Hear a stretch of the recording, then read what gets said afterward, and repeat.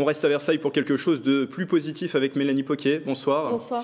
Alors pour ce rendez-vous loisir dont vous nous euh, vous donnez euh, parler chaque semaine, on se rend, je l'ai dit, à Versailles. Le tournoi d'Asthma Team est de retour dans, dans, la Cité Royale. Et oui, pour cette troisième édition, les organisateurs ont vu plus grand. Depuis deux ans, le rendez-vous tournait autour d'un seul jeu, Hearthstone. Alors pour attirer un public, un plus grand public et faire se rencontrer plus de joueurs, il y a deux nouveaux tournois qui sont proposés par Arma Team. Un autour de League of Legends et le deuxième, c'est pour les fans de football, c'est FIFA 20. Écoutez. Le fait qu'il y ait plus de choix, bah, ça permet de rassembler.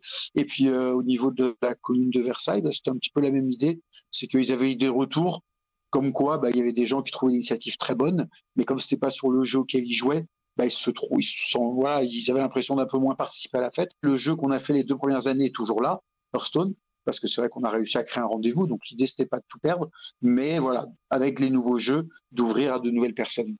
Le tournoi débute à 13h, mais pas d'inscription à prévoir. Mélanie, c'est surtout de la détermination qu'il va falloir montrer Et oui, parce qu'Armatim et la mairie de Versailles ont choisi que de faire que les tournois soient gratuits. Alors, elles ne sont pas extensibles, ces places. Pour être sûr de concourir, il faut arriver dès midi à l'hôtel de ville pour s'inscrire. Il y a 104 places pour League of Legends, 64 pour FIFA et 32 pour Hearthstone. Alors, autre particularité cette année, il n'y a pas de tournoi différent entre les amateurs et les mhm. professionnels.